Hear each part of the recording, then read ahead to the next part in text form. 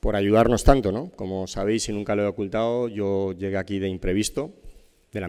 misma manera de la que me voy, pero con, con poco bagaje, teniendo muchísimas asignaturas eh, pendientes por, por aprender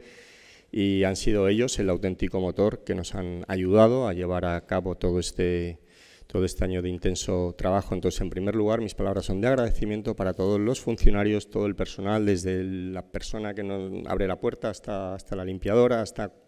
todo el personal, ¿no? hasta el equipo funcionarial, en primer lugar. En segundo lugar, por supuesto, a las dos personas que me han puesto aquí, que son el, mi presidente, el presidente Santiago Abascal, y en segundo lugar, como no, el presidente de la Generalitat, Carlos Mazón, al que le debo eterna gratitud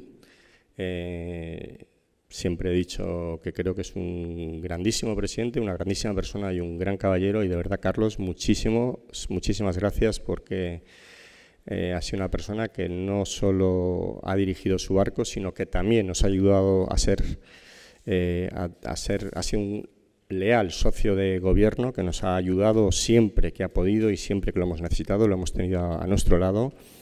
y por supuesto también quiero dar las gracias a todo el Consejo, y a todos los miembros del Consejo. Creo que hemos trabajado fenomenal, con una lealtad absoluta. Y quiero dar las gracias a todos, eh, no solo en el plano personal, que hemos hecho una amistad para toda la vida, sino en el plano profesional, en el plano, político, donde siempre nos hemos sentido, no solo creo que yo, sino también los otros dos consejeros de, eh, que pertenecen a mi grupo, a mi grupo político, a Vox, hemos, nos hemos sentido apoyados, eh, ayudados, eh, respaldados y comprendidos. muchísimas gracias. Creo que, que, bueno, como digo, pues llegué sin esperarlo, también me voy sin esperarlo. Lo único que me llevo pues son bueno, pues una gran experiencia. lo he hecho mejor, peor, pero os aseguro que me he dejado la vida por intentar hacer lo mejor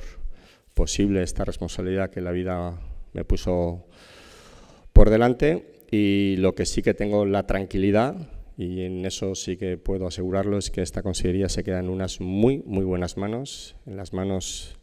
del conseller Rovira,